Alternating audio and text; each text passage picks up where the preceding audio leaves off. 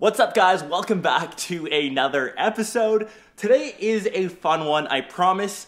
We're back in my living room because we are going on the packing journey. As most of you guys know, in less than three weeks, I am out of this place, RIP. A lot of great memories here. So I'm actually gonna be moving my entire TV and kind of placing it in the packing area. Let me show you guys quickly.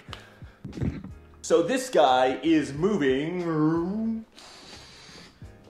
to here. And we're gonna be replacing the TV which is currently there with something maybe a bit more portable. LG just sent this over and I thought this would be cool as a temporary setup it's the LG Mini Beam. Essentially a small compact projector that lets me get an image up to 100 inches, which is around the size of this wall. There is some good news. I did work with LG on one of my last videos as well. That was the, the 4K monitor display, and they agreed to either give one of those monitors or this projector away.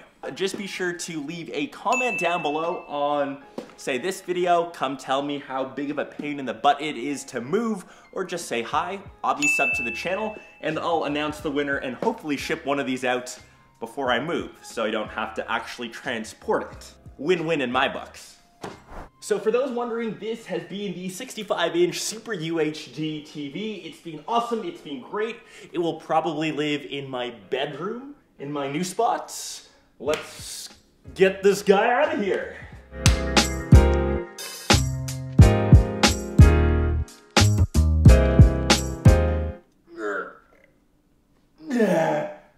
Very weird to see this entire space without anything. I think it's the first time in five years has this wall been this blank. Sad. So here is the actual mini beam projector itself, and you can kind of see how tiny this guy is. Easily handheld, and this thing can be transported, as I said, way more comfortably than a 65 inch TV. So essentially what this guy does, I can create a full 100 inch projection onto an empty space just like this wall. The optimal viewing size is between 60 and 80 inches though. It projects in full HD so you're not getting any weird potato quality stuff. It's 1920 by 1080. It's got a two and a half hour battery built in so you can go completely wireless, which I'm a huge fan of, which kind of just increases its portability as you won't need any wires. Set this puppy up right here and start projecting onto this wall. It actually has a little tripod mount, so I've obviously taken my favorite tripod accessory. I can pivot this in any way that I want. Okay, so it's booting up here right now. Okay, let's go through those settings. I've now got this set up projecting onto my wall. It's currently charging. You can use this proprietary or you can even use USB-C, which is dope. I do wish the lamp was a tad bit brighter. I know that's always the problem with projectors. Obviously, this will become better as the day goes on, and as it's nighttime, it's darker, it will be brighter. So the sound output is quite limited from this projector, but you can always hook up external speakers via Bluetooth. It has that capability. It's got a bunch of built-in apps like YouTube, you just saw that we were watching me on my wall.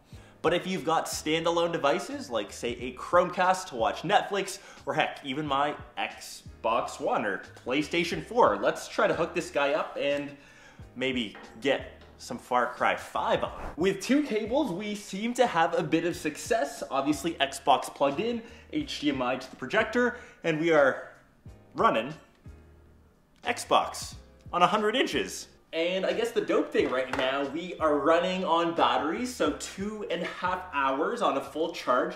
I can just disconnect the Xbox, I can pick this puppy up, and I can actually carry this to the bedroom and watch stuff in my bed if I want.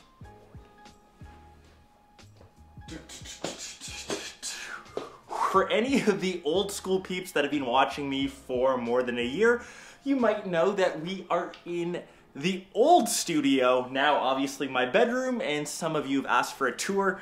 There is literally just my bed and white walls as I have changed nothing. Bed, this is where you used to look. The camera was set up right here. There used to be a desk with my iMac. All I have now is a lamp, um, some candles, and obviously, the bed. We can get this guy going that's kind of cool. I can just carry this guy around essentially anywhere, and now I've got my own little projector. Okay, let's head back into the living room now. The LG Mini Beam, I think, is the perfect solution right now for me as I just can't have too much clutter. This thing is tiny. It's honestly perfect for people that are on the go. Maybe you wanna take this with you in your car, you're on a road trip. I think the possibilities are almost endless. The fact that I am now running a full HD picture, can get a 100 inches without a wire, two and a half hours, I think that is so, so dope. Anyways, let me know your thoughts down below. Obviously, this guy isn't as bright as a conventional TV, isn't 4K, I can already hear the comments, but I think for those specific uses, it's different, it's fun, and obviously, portable.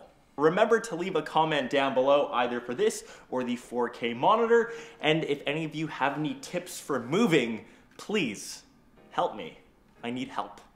I'll catch the rest of you guys in one of my next episodes or vlogs. Peace.